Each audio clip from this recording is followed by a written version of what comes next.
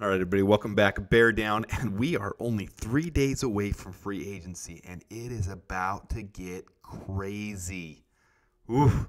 All right, so the implications going into that, I want to discuss Jaylon Johnson's contract real quick because a lot of you might not have seen the details of it, and it's pretty impactful. And last night, all of these trolls on Twitter, I'm going to call them trolls. Guys, my channel's still fairly new. It's only three months old. I'm not going to be politically correct yet. I'm going to say whatever the freak is on my sleeve. I'm going to let you guys know how I feel because there's so many people that don't understand the basics of contracts and negotiations and how things shake out for free agency, how they work for salary cap. They don't get it. So I'm going to explain it right in here. I'm going to give you the full breakdown and dosage of what this means. All right, so here's as of last night, Chicago Bears salary cap, according to Spotrac, who's very, uh, very accurate 99% of the time. They aren't, aren't always the quickest to update it. And here's one of those examples. Jaylon Johnson's contract has now been released. Right now, they're showing, as of last night, when I'm putting this together, 57,556,870 in cap space that we have left. And we know Ryan Poles likes to operate with about 10 million of that in reserve to go through the season in case we have emergencies, in case we have to have signings, 8 to 10 million. We ended up the year last year. You see that 2023 rollover cap by the time we were done with 4,926,000 when all was said and done. So out of that 57 million, let's say we're going to spend about 47 million. But let's take a closer look. At the top here, you're going to see the three things that aren't accurately reflected right now on Spotrac. There's three things. Number one, Jaylon Johnson's contract is not 19,802,000. That was the tag number. They still have it listed as the tag number. The deal being done now is a four-year, 76 million. That averages out to be 19 million, but 28 million is in the first year. Ryan Poles has front-loaded this contract. So look below at the very bottom there, 28 million year one, 16 million, 16 million, 16 million in the back years. Reasons team do teams do that is because they see the need for salary cap later in the future and they're going to spend it on positional players right now that they need to have locked in and they need the contracts for but they're going to front load it so they can afford other things later. Okay, that's huge. That's another 9 million this year. And you see the trolls on Twitter saying, "Oh, this just shows we're going for a young uh, quarterback. We're gonna we're gonna get Caleb Williams. Caleb Williams' contract would be more expensive than Justin Fields' contract this year with what we left. Oh, so that's it's funny how they twist these things. But more importantly, if we don't get more draft capital, if we don't use the draft capital we have now to trade down and get more draft picks, is what I should say, because that draft capital can convert to more picks, we don't have much room left in free agency.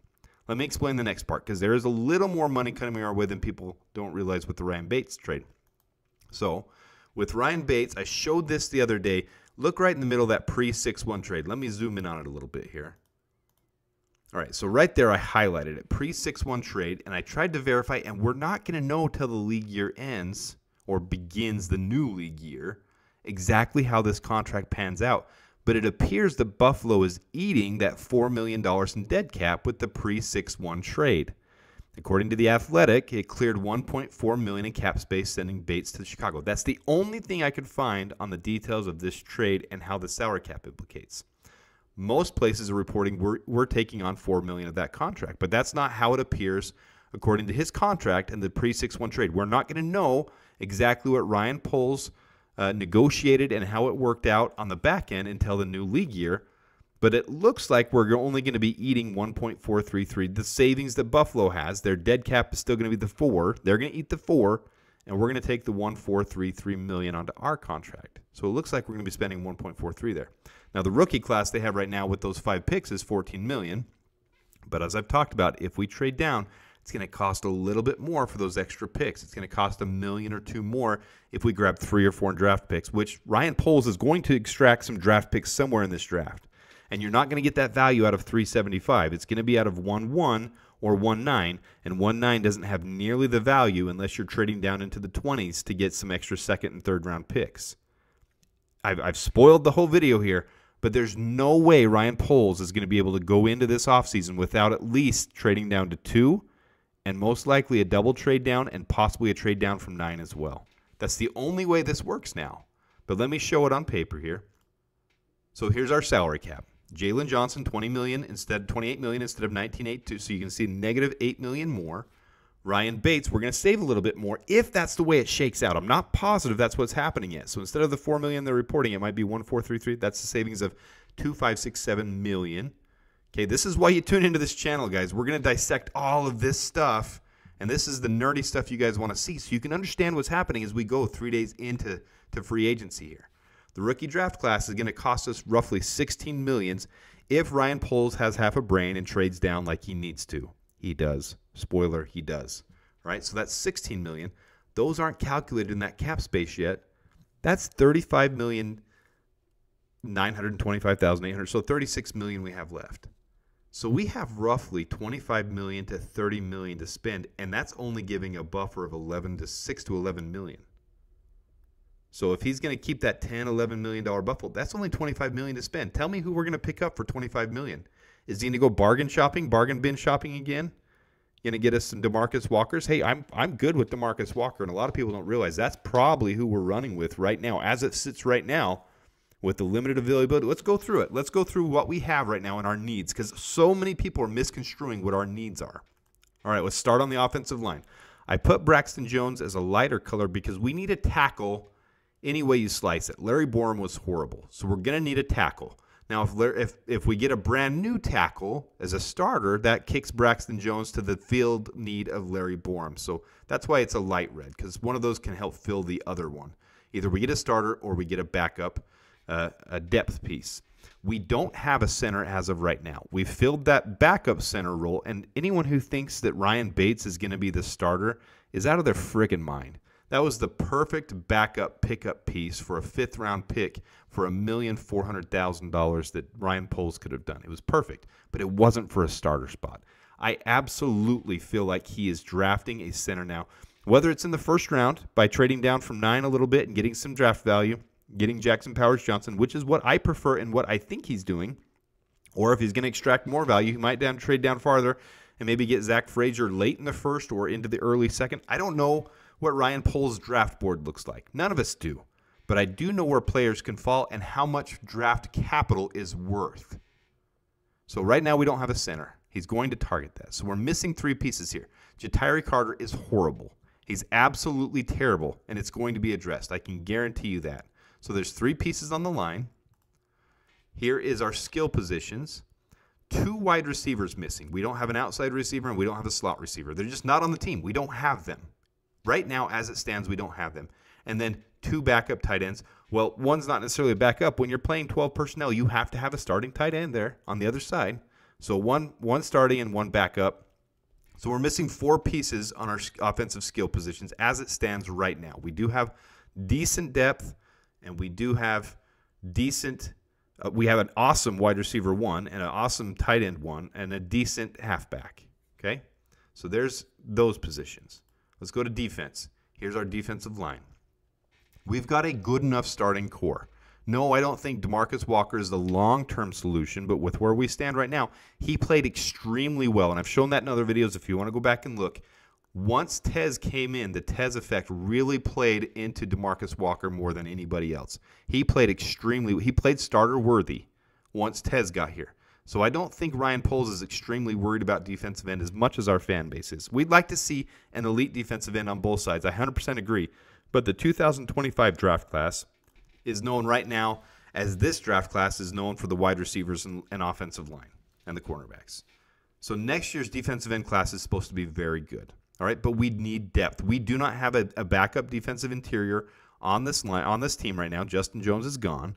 And defensive end, Dominique Robinson was absolutely terrible. Khalid Kareem to me isn't an answer either. So that's why everyone thinks we need depth. We do need depth.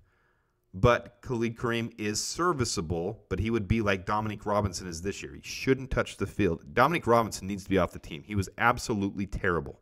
Horrible. When I broke down his metrics on my defensive end video, it's clear and obvious that he is absolutely not NFL quality. Sorry, Dominique Robinson, if you listen to this, hey, I hope the best for you, but you're not going to be on a Super Bowl caliber team. Hate to say it. All right, let's go to our secondary. Here in the back, we do not have a free safety right now. Eddie Jackson is gone. And our, our backup safety, Elijah Hicks, was absolutely terrible. You look at his PFF rank, he was 93rd out of 95. He had moments. He has a couple flashing moments. But other than a couple moments, he's absolutely terrible, especially in coverage. He is a liability and he shouldn't be on the team. So we have those weaknesses there. So here's our overall weaknesses. We have 11 spots that need to be addressed in one form or another, five of them starters, and we have five draft picks.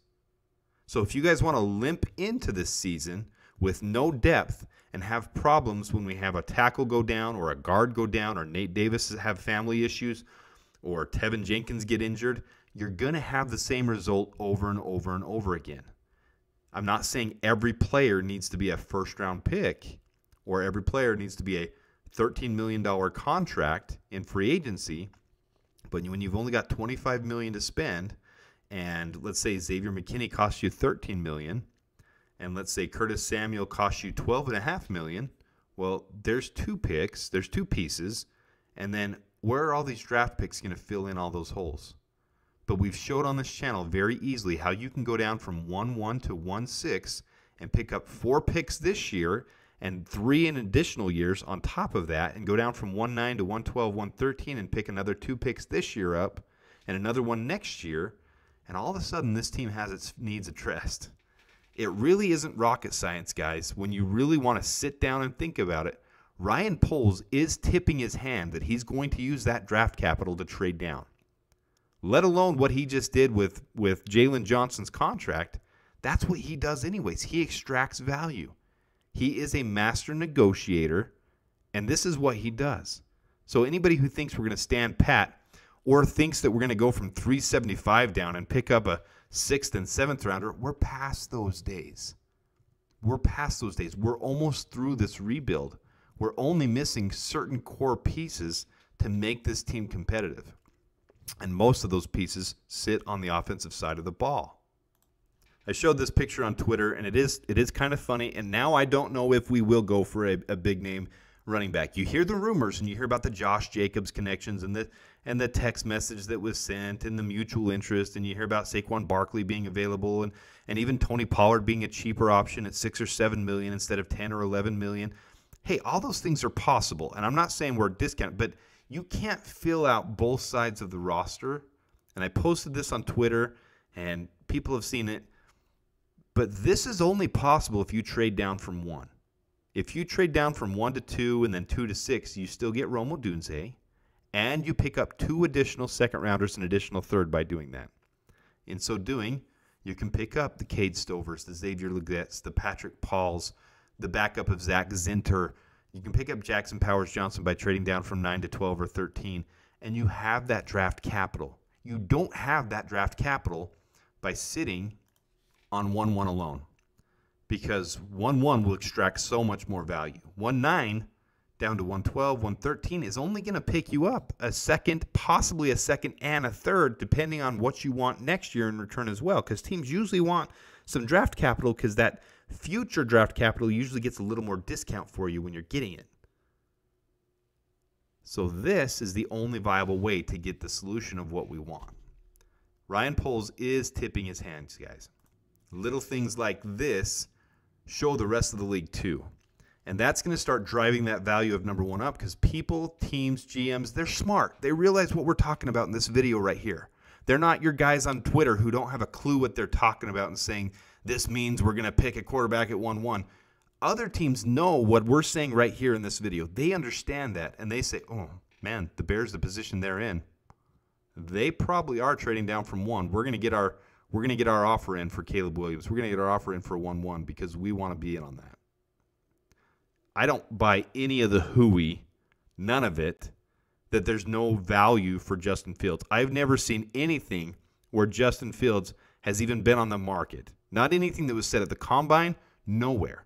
That was the media and all of them being conglomerate in one area and listening to Ryan Poles and saying they want to do right to by Justin Fields and they run with their assumptions and they run with their talking heads and they say what they want and all of a sudden it turns into the snowball if you remember right before the combine when my stats were shared on on nbc football night in chicago when those were showed by clay harbor people were starting to come around and say okay there needs to be some support for justin fields the combine killed that The combine killed that talking point because it wasn't popular.